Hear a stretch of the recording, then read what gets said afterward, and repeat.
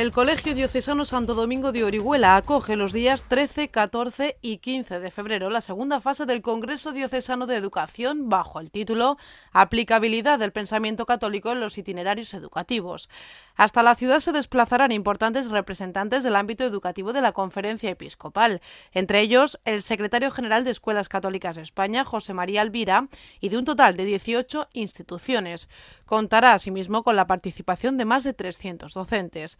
Los organizadores han tratado que esta segunda parte sea lo más práctica posible y cambiante. Y además se van a tratar todo tipo de temas, desde todo el tema del, punto de vista de gestión, de calidad, marketing, etcétera, etcétera, que también es necesario para, para la subsistencia de los colegios, como todo el, vista de, punto de vista de, cómo aplicar esa teoría, esa teoría que vimos en la primera fase, cómo aplicarla realmente en el aula y esa síntesis de las asignaturas con la fe, con la razón, con cómo trasladar esa persona, cómo construir esa persona desde cada asignatura, pues eso es lo que se va a trabajar en todo, de, de, estas distintas formas, vamos. También se van a presentar, otra forma muy novedosa de presentar, es a través de póster. También va a haber una sesión de póster donde más colegios vienen con sus trabajos y de esa manera pues va a haber también un intercambio entre los distintos docentes que vienen pues para compartir esas experiencias. Estas jornadas, bajo el lema En el camino de una alianza, ciencia y fe, se celebran coincidiendo con el 450 aniversario de la Universidad Pontificia de Orihuela,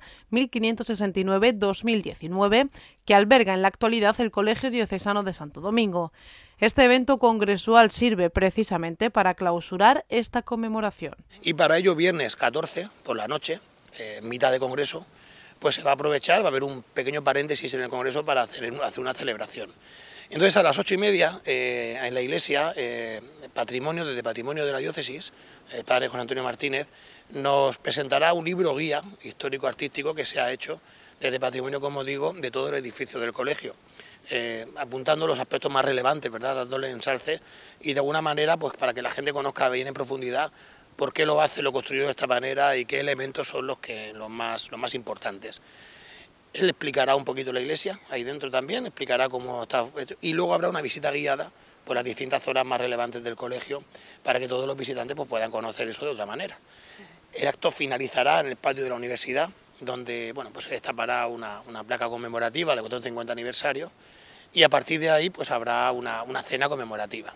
Un acto al que todo el que quiera puede acudir, aunque los tickets para la cena deberán obtenerse previamente a través de la web www.450upo.es, donde también podrán encontrar toda la información sobre este congreso, cuya primera parte versó sobre los fundamentos de la educación. Porque el congreso pretende actualizar cuál es la reforma, la reforma verdaderamente, la revolución que el cristianismo y que el Papa está planteando al mundo de la educación. Es decir, la, educación, tristemente, ¿no? en el contexto social en que nos estamos moviendo, político, tristemente aparece como un problema la educación.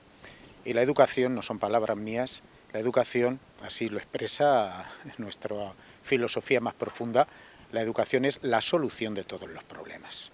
La segunda parte, pues es la aplicación, porque bien, podemos, pues eso, centrarnos mucho en fundamentos, en los grandes teóricos, no, la educación no se puede hacer en despachos, perdón, de ministerios. Se tiene que hacer también desde las aulas.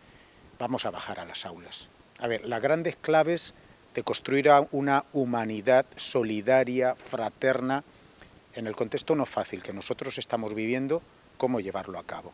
Eso exige una acción desde el aula. Para el director de Santo Domingo, el reto de hoy en educación no es otro que enseñar a pensar a los alumnos. De ahí la importancia de estas jornadas, cuya apertura será el jueves a las 5 de la tarde, a cargo del obispo de la diócesis de Orihuela Alicante, Monseñor Jesús Murgui.